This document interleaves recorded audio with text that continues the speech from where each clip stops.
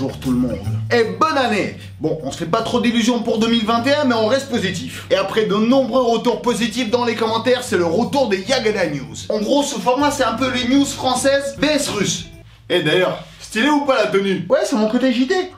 Bon, cette vidéo sera un peu perturbante pour moi parce que je suis en même temps en direct le retour de l'opposant politique Navalny à Moscou là. Ça se passe là, là, tout de suite en direct. J'ai voulu enregistrer cette vidéo après qu'il soit retourné à Moscou, mais aujourd'hui il y a déjà eu trop de problèmes.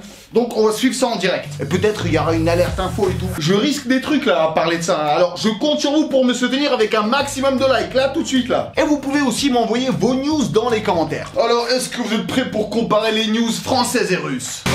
Alors, c'est parti. Young clash les rappeurs européens. Et on commence tout de suite en France par un clash qui ne va pas marquer l'histoire du rap. Disons plutôt que c'est une petite querelle intercontinentale. hein. Donc le rappeur d'Atlanta, Young Thug, qui a une certaine crédibilité dans le game quand même. Et ouais, Young Thug, c'est pas pour rien. Moi je fais du Shadow, pas lui. Il vient de sortir un morceau avec Bad Boy. Mais par contre, je me suis dit, Bad Boy, Young Thug, Lil Pump. Pourquoi tous ces diminutifs y a des adultes dans le rap américain ou pas Bref, donc le jeune thug de 29 ans a osé mettre en doute la stricte crédibilité des rappeurs parisiens. No, it ain't no nigga from motherfucking London or Paris with goddamn. Your ass probably been living goddamn Bon, je résume brièvement, ça s'est passé lors d'une interview, on lui a demandé pourquoi il aime les sons des gars de Miami, et lui il a dit c'est parce que ce sont des haïtiens qui ont beaucoup souffert et qui ressentent cette souffrance dans leurs morceaux, et que c'est pas le cas pour lui quand il écoute des rappeurs de Londres ou de Paris qui ont jamais rien fait de chaud dans la street et qui ont tous grandi dans des manoirs et dans des jardins. Eh, ça va, il est pas con non plus, hein. Heureusement il a rien dit sur Marseille. Ça aurait été plus chaud pour lui, hein. C'est pas la capitale. Déjà, le mec, il clash pas une personne ou deux personnes. Il clash deux villes direct. Eh, eh, Paris-Londres, je vous baisse, vous baisse, venez, venez, venez. Eh, De toute façon, c'est le confinement, les frontières sont fermées. Eh ouais, il est pas con, Young Thug. Du coup, ça a mis pas mal de rappeurs en rogne. Il y a quelques rappeurs de Londres ou de Paris qui ont même répondu. Il a aussi reçu énormément de messages d'insultes de la part du public, français et anglais. Et donc, du coup, Young Thug a dû faire une vidéo dans laquelle il s'excuse d'avoir heurté la sensibilité street des rappeurs.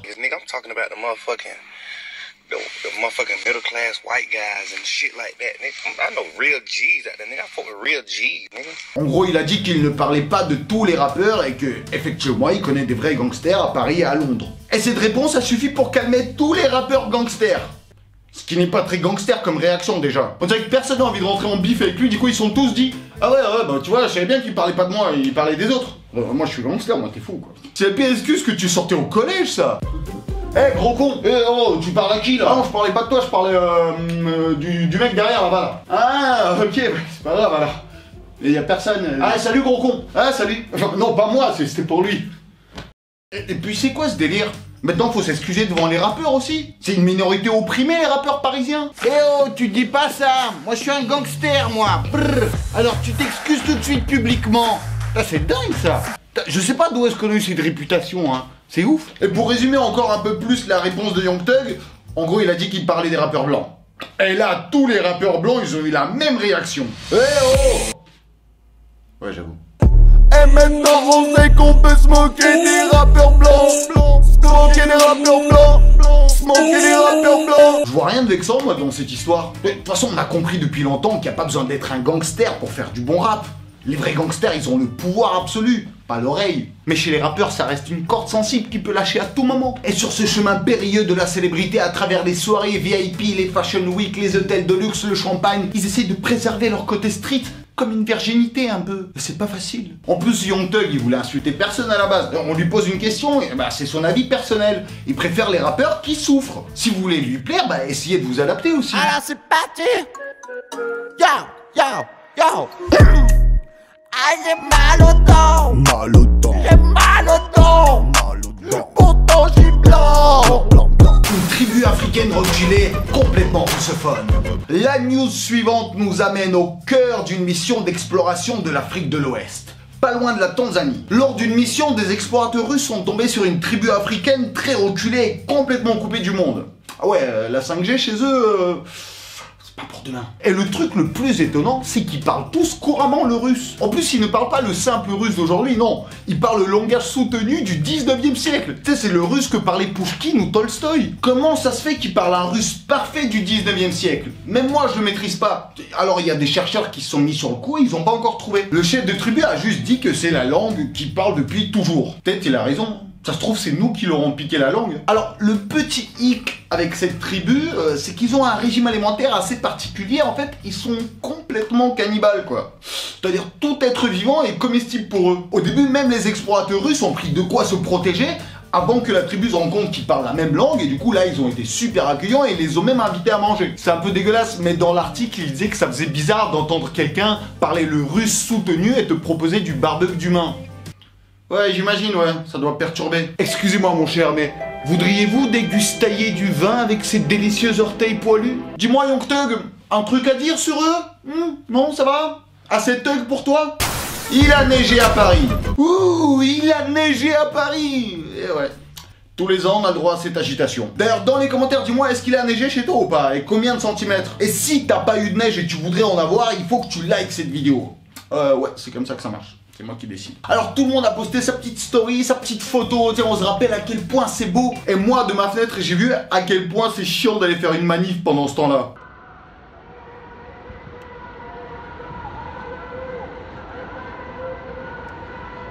Les pauvres, ils sont 12 Et bien sûr, comme tous les ans, il y a des gros abuseurs. Cette année, mon préféré, c'est lui. Le skieur de Montmartre.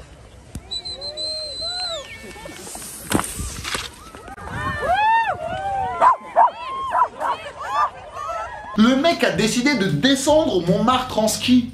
Frère, il y a trois flocons, calme-toi. C'est la première piste verte qui est vraiment verte. L'abuseur par excellence. Et quand les flocons vont fondre, ça va faire des flaques. Tu vas te mettre en maillot aussi pour faire le crawl ou pas? J'imagine les mecs qui habitent dans les régions montagneuses et qui ont vu cette vidéo. T'appelles ça de la neige? Bah viens voir dans le Grésivaudian, ça c'est de la neige. Et tous les ans ça se transforme dans cette course. À qui a la plus longue? Enfin, qui a la plus longue couche de neige je parle. Alors c'est un peu hors jeu mais si vous voulez en ce moment Yakoutie en Russie c'est le retour des grands froids. Du moins 47 mon pote. Si vous aimez bien la neige, euh, allez-y pour faire une overdose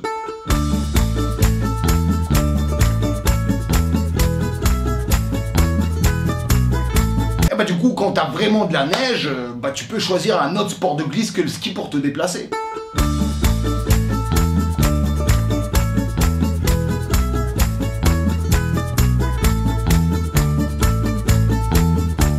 Le FacePay dans le métro de Moscou. Le métro de Moscou m'a toujours impressionné. C'est beaucoup plus propre et joli que le métro parisien par exemple. En même temps, c'est pas très compliqué de faire plus joli et propre que le métro parisien. Comme je vous l'ai raconté dans ma vidéo à Moscou, il y a carrément des visites touristiques qui se font dans le métro. Sans déconner, il y a des lustres, il y a des mosaïques avec des touristes qui viennent prendre des photos et des guides qui expliquent leur histoire. Alors que là, c'est le métro qui arrive. Mais là, ils ont décidé d'aller plus loin et devenir le premier métro qui va utiliser le FacePay pour acheter ses tickets. Oui, donc en 2021 à Moscou, il sera possible de payer ses transports en commun grâce à son visage. Euh, bonjour, euh, je peux aller où avec ce visage? Terminus. Hein? Déjà, d'une, c'est un peu contradictoire avec les masques obligatoires. Et puis même sans ça, je suis sûr que ça va être le bordel quand même. Déjà, mon Face ID me reconnaît une fois sur deux, alors là... Je sais pas comment ils vont faire les contrôleurs. Hein. Votre titre de transport s'il vous plaît Oui bonjour Vous vouliez quelque chose non? Ah pardon, C'est bon, excusez-moi, merci. Alors bien sûr, ça soulève beaucoup de questions de droit d'auteur ou de surveillance, mais vous inquiétez pas. Ils ont certifié qu'aucune photo ne sera sauvegardée ou revendue. Ah, c'est bon de ce côté-là. Ouais, apparemment, ils ont déjà eu tous nos visages avec Toonmi. Du vin dans l'espace. Alors, c'est incroyable. C'est Armageddon à la française.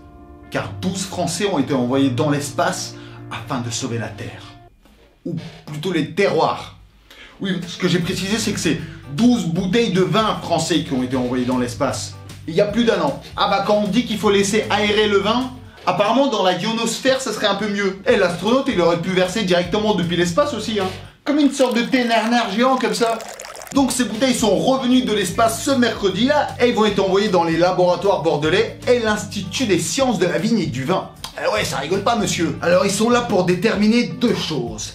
La première, c'est savoir si le cépage développe une résistance qui pourrait s'avérer utile pour faire face au réchauffement climatique. Et la deuxième, c'est une éventuelle incidence sur le goût du vin. Ça a dû se bagarrer au labo. Hein. Pile je gagne, face tu perds. Ah bah voilà. Bah moi je m'occupe du goût toi tu t'occupes des trucs chimiques. Le retour de l'opposant politique en Russie. Ouh, alors euh, on termine avec un sujet assez délicat euh, quand on va parler de l'opposant politique euh, le plus connu de la Russie, Alexei Navalny. Donc je vous ai expliqué qu'il est rentré en Russie aujourd'hui et c'était un gros événement médiatique. Avant de parler de son retour et des conséquences que ça a créé, parce que c'est un peu le bordel là, je vais essayer de vous le présenter de la façon la plus neutre et objective possible. C'est que des faits officiels. Je me mouille pas. Donc c'est l'opposant politique russe le plus connu en Russie et aussi à l'international. Mais vu que officiellement il a un casier judiciaire, il peut pas se présenter aux élections. Mais là où il a été le plus efficace, c'est sur sa chaîne YouTube. Alors il poste des vidéos, des enquêtes carrément avec toutes les preuves et tout, où il dénonce les abus de pouvoir des politiques. Il a des vidéos qui ont été vues des dizaines de millions de fois, mais pour l'instant ça n'a encore eu aucune conséquence dans la vie réelle. Personne n'a jamais été arrêté ou interpellé ni rien. Donc depuis deux ans à peu près, il continue à sortir des vidéos comme ça, euh, pour dénoncer, mais commence à perdre un peu de buzz. Eh ben on t'a pas loupé parce qu'il y a 5 mois lors de son retour de Sibérie à Moscou, dans l'avion, il s'est fait empoisonner par le Novichok. Il a été transmis d'abord dans un hôpital en Sibérie, puis à Berlin, et là aujourd'hui c'est son gros retour dans la mère patrie. Et le problème c'est que vu qu'il avait interdiction de sortie de territoire, euh, bah, il n'a pas le droit d'aller à Berlin quoi. Donc là en revenant, officiellement il est hors la loi donc il peut se faire arrêter direct. Et moi j'ai suivi tout ça pendant l'enregistrement de cette vidéo, et je vous mets le résumé de ce qui s'est passé. Il devait s'excuser devant les passagers parce que des centaines de passagers ont souffert à cause de lui, hein, à cause de ce vol. Encore heureux que tu t'excuses, mon pote. Imagine, tu prends l'avion, tu te retrouves comme ça. Allô, chérie Ouais, c'est bon, je suis dans l'avion là. Donc je t'appelle vite fait avant qu'il nous demande de couper. Donc, si tout se passe bien, j'atterris à 19h. Allons, croisons les doigts qu'il n'y ait pas trop de retard, hein. Ouais, mais laisse tomber pour les doigts. hein. On se voit la semaine prochaine. Il dit que tout le monde lui demande s'il a peur de rentrer en Russie. Il dit que non, il a pas peur. Comme tout citoyen, il veut rentrer dans son pays, passer le contrôle de passeport et il pense qu'il va rentrer tranquillement chez lui. On va voir, hein.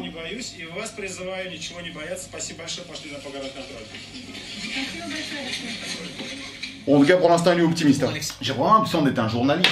Un œil sur les news, un œil sur la caméra. Son avion, là, cet avion a été l'avion le plus suivi et tracé par les radars dans le monde. Donc à la base, il devait atterrir dans l'aéroport de Vnukovo, mais vous avez vu, il a fait une sorte de détour chelou et il est parti atterrir à Sheremetyevo, qui est un autre aéroport à Moscou. Oui, parce que du coup, il y avait plein de gens qui l'attendaient à l'aéroport de Vnukovo et ça a commencé à chauffer avec les flics et tout. Regardez les images.